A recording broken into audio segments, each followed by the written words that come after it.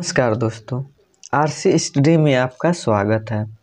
आज हम लोग अध्ययन करेंगे ध्वनि के अभिलक्षण, यानी ध्वनि के प्रमुख लक्षण निम्नलिखित हैं, जिसमें से पहला तारत्व अथवा पीच यहाँ पर तारत्व को पहले हम बता दें फिगर के माध्यम से, यानी तारत्व या पीच क्या होता है।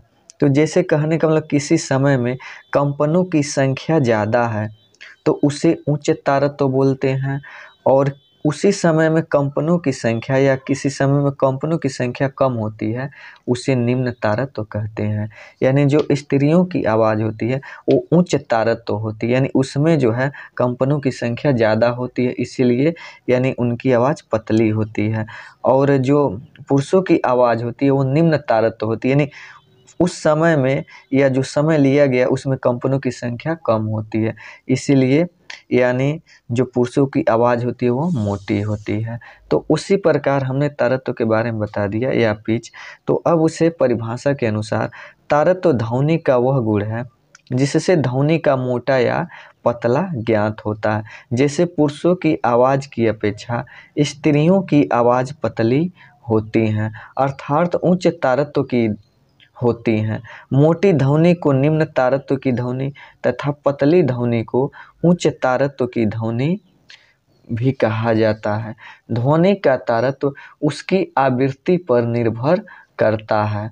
अधिक तारत्व वाली ध्वनि की आवृत्ति अधिक होती है और कम तारत्व वाली ध्वनि की आवृत्ति कम होती है। यानी निम्न तारत्व की ध्वनि की आवृत्ति कम तथा उच्च तारत्व की ध्वनि की आवृत्ति अधिक होती है। जैसे यहाँ पर उच्च तारत्व है, इसमें इसकी आवृत्ति ज़्यादा है। जैसे यानी कंपनों की संख्या ज़्यादा है। और इसमें जो है, यह निम्न तारत्व की ध्वनि है तो इसमें कंपनों की संख्या कम है। इसमें एक, दो, तीन, चार और इसमें एक, दो, तीन, चार, पाँच, छः, सात और यानी यह नीचे का भी है। तो इसमें कम है और इसमें ज़्यादा है। और यानी निम्न तारत्व वाली ध्वनि मोटी होती है और उच्च तारत्व वाली ध्वनि पतली होती है। बस इतना ही इसमें। अब उसके बाद जो है प्रबलता किसे कहते हैं? तो अब जो है यानी प्रबलता में, प्रबलता ध्वनि का ध्वनि का वह लक्षण है जिसके आधार पर कोई ध्वनि कान को धीमी या तेज सुनाई पड़ती है।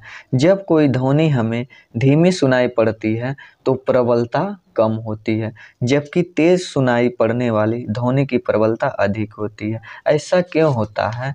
तो ऐसा जैसे यह जो है तरंग संचरण कर रहा है। तो इसमें जो है, यानी जिसका आयाम ज़्यादा होता है तो वह ध्वनि बहुत तेज़ी से सुनाई देती है, बहुत तेज़ सुनाई देती है, प्रबल। और जिसका आयाम कम होता है तो वह ध्वनि धीरे सुनाई देती है, जिसको मृदु ध्वनि कहते हैं।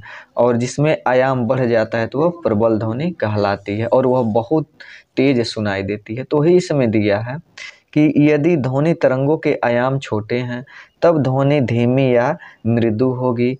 और यदि ध्वनि तरंगों के आयाम बहुत बड़े हैं, तब ध्वनि अधिक होगी।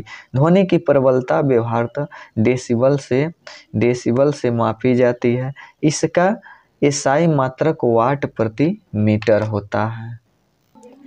अगला जो है इसका लक्षण गुणता यानी गुणता ध्वनि का वह लक्षण है, जिसके आधार पर दो भिन्न भिन्न वाद्य यंत्रों द्वारा उत्पन्न की गई समान आवृत्ति एवं समान तीव्रता की ध्वनियों में भी अंतर प्रतीत होता है।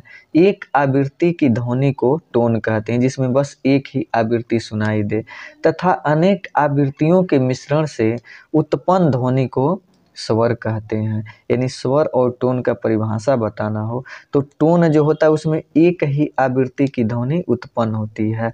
और जो स्वर होता है, जिसमें आवाज़ आता है, जैसे हम उसे समझ सकते हैं क्या कहा जा रहा है तो उसमें आवृत्तियों का मिश्रण होता है। ये हमारे कानों को सुनने में सुखद लगते हैं, जबकि सुर कानों को कर्कश लगता है। फिर उसके बाद अगला जो है ध्वनि के अभिलाक्षणिक जो लक्षण है, तीव्रता। यानी यही लास्ट है, किसी एकांक क्षेत्रफल से प्रत्येक सेकेंड में प्रवाहित ध्वनि ऊर्जा की मात्रा ध्वनि तीव्रता कहलाती है। प्रबलता तथा तीव्रता समान पद नहीं है, परंतु ये एक दूसरे से संबंधित होते हैं। इसका ईसाई मात्रक वाट प्रति मीटर स्क्वायर होता है।